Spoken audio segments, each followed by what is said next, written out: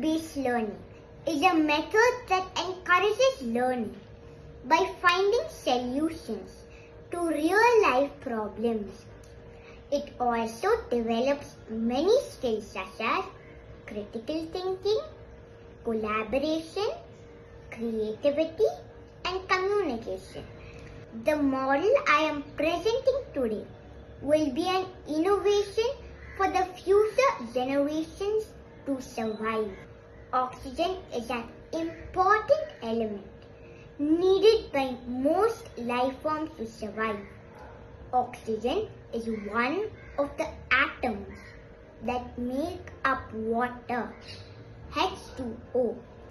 Water can be converted into hydrogen and oxygen through a process called electrolysis, which is splitting water into its two constituents, hydrogen and oxygen. Imagine this is like a water purifier installed in your kitchen. As you can see here, there is a main water tank which I created using a transparent plastic container.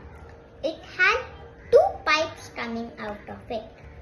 The blue pipe converts the molecules into oxygen which then transfers it to the attached oxygen cylinder. The white pipe is attached to a hydrogen generator which stores the hydrogen.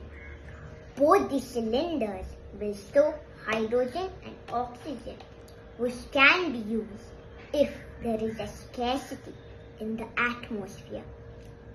Oxygen can be stored in cylinders and can later be used to save lives at homes and hospitals. Hydrogen can be used as a fuel in cars, buses and even in rockets.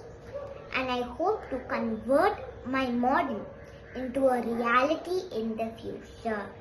Thank you.